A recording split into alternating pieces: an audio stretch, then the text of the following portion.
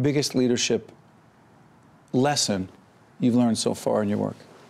The biggest leadership lesson I've learned is that when you provide students with the, the instruction and you show them you care about them and their futures, that they will far exceed any expectation that you will ever have. Are teachers leaders? Absolutely. Definitely. Definitely. Absolutely.